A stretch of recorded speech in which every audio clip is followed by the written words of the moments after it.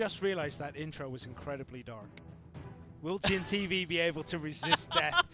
Suddenly this has turned into a fantasy game, but a You gotta roll a furnace. saving throw here, man. Uh, what's his? I, I wonder what Jin, Jin TV's Constitution saving throw. is, You know?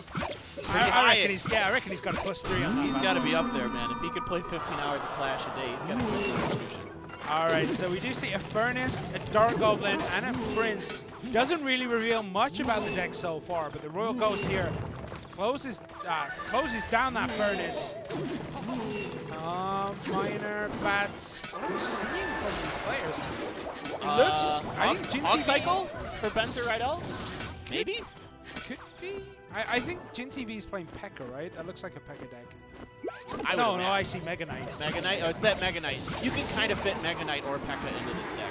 Right? Basically, all those seven cards you see there for Jin TV fit with Mega Knight or P.E.K.K.A. You can run either.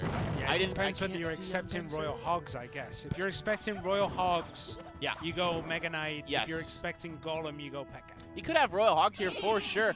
I can't see in his hand. All I can see is the poison and I the see the prince. Prince, yeah. Yeah. Move your finger, Benzer Ridel. Come on, man.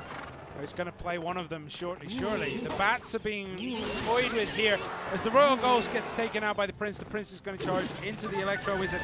There's a Miner coming in the back, distracting the Electro Wizard. He's attacking him. The Electro Wizard splits his attack and still takes down whatever was behind him. yeah, so far so good for Benzer Ridel. He's got a slight advantage here, but Jin TV really not too far behind. Okay, there's the Goblin Gang from Benzer Ridel. They won't do much. The Royal Ghost will clean them up relatively quickly. Yeah, but Benzo Ridel does have an advantage here. 1,402 remains. And the Prince is going to take out the Royal Ghost here, then charge down and get taken out by the Inferno Dragon. Furnace comes out. The Fire Spirit's going to do some work if they can get through, but the Electro Wizard takes care of them almost instantly. Yeah, are we going to see the Mega Knight come down? He's opting to just do the Miner poison here, catching the Furnace in the thing as well. But the Dark Goblin goes behind the poison, now walks into it and dies, but did some decent damage there to the miner. Yeah, 1,534 in that top left-hand tower for Benzo Ridel, and 1,186 for Jin TV. Yeah, hard for Jin TV to find a moment to play the Mega Knight here. There's no real reason so far. There it is. Now he wants it to soak up that damage from the Prince. The Electro Wizard does go down to the poison, and that bottom tower for Jin TV is down to 886. Yeah, the minions sneaking in that side. And the miner, the minions, they're going to town. Oh, but the Mega Minion goes for the King Tower, but it doesn't matter. The Inferno Dragon finishes that tower with the help of the minions and the miner. And Jin TV takes game number one here. What was Benzer Ridel's last card? All right, so it is Jin TV versus Benzer Ridel again here in. Oh man, I can never remember the order. Game number two. All right. I'm going to get there eventually. There's a lot right? to keep track of. Yeah, so a love there for Cycle, and a Miner played by Jin TV is like, I'm not going to be cycling anything. And there's the Valkyrie, takes it out. Three hits there, not too bad, but obviously that's three more hits than you want. Yeah, absolutely. It's it's not the end of the world. This Valkyrie is going to get burned down by the Inferno Dragon. Does not get a swing in. The Hunter here to counter by Benzer Ridel. Okay. Generally speaking, we see the Hunter paired with P.E.K.K.A. or something. It could be Mega Knight as well. But Hunter does really well if there's anything in front of it that'll take all the damage because the spread. And there's a Royal Hogs. Ah, yes, of course. The Mega Knight comes down for Jin TV to counter these Hogs. Very well timed.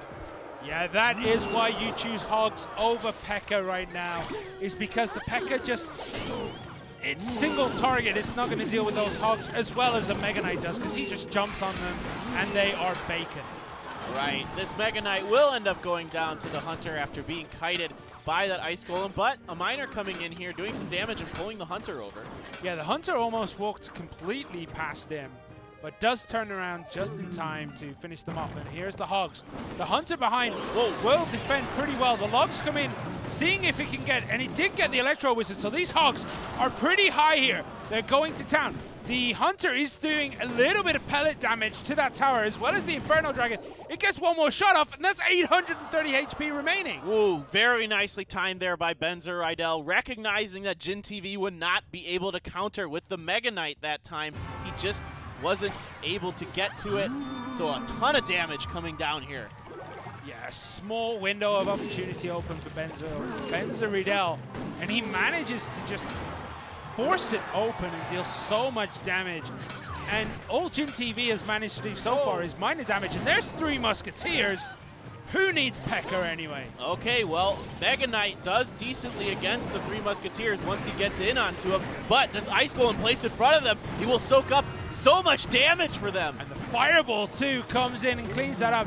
Three Musketeers doing the job they needed to do here. The Electro Wizard is going to slow that down. The Royal Ghost is going to get something done, but they do get a couple of hits. 594, 510 remaining. Miner in the back, instantly answered with a perfect Hunter placement. Great, great insight there to play that. Yeah, now this Hunter is going to clean up this push from Jin TV. Excellent job by Benzer Ridel there. Jin TV trying to find the right cycle where he can get back in onto Benzer Ridel's tower, but it's he's finding it really difficult to do.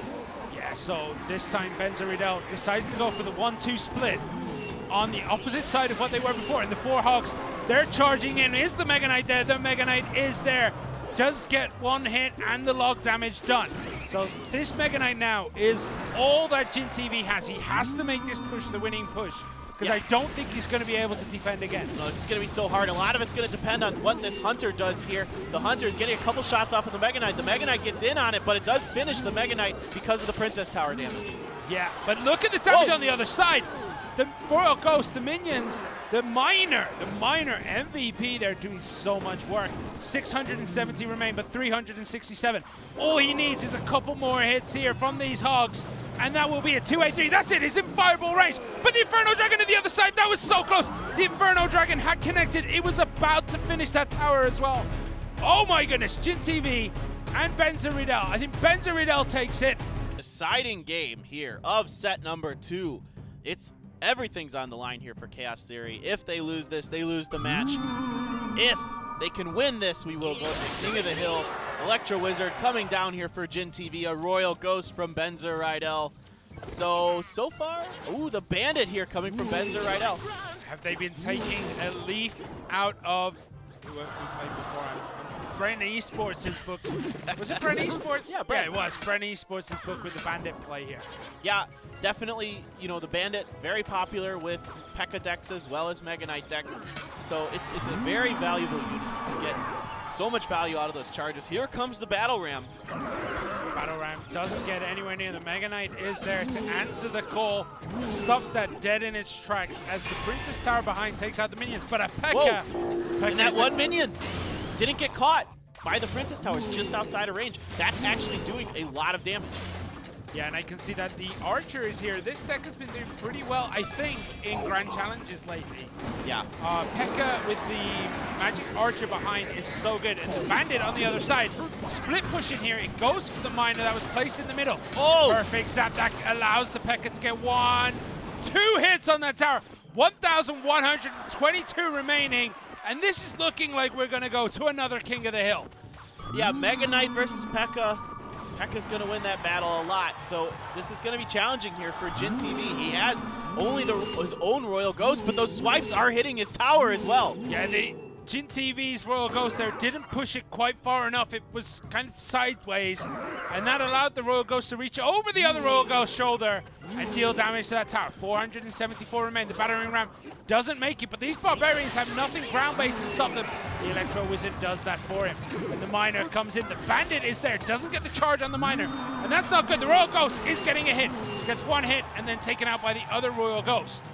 All right, so let's see what Jin TV has here. He's down by quite a bit, but a decent little push there to at least get some damage done on the Benzer Ridel's towers. The P.E.K.K.A coming down immediately to counter the Mega Knight. The Mega Knight going to, ooh, okay, might jump onto the Archer here. Poison coming down as well for Jin TV, but just in time does he change directions. Jumped onto the battering ram. The P.E.K.K.A in the in the back there, getting taken out by the Inferno Dragon, but there is a Barbarian and three minions.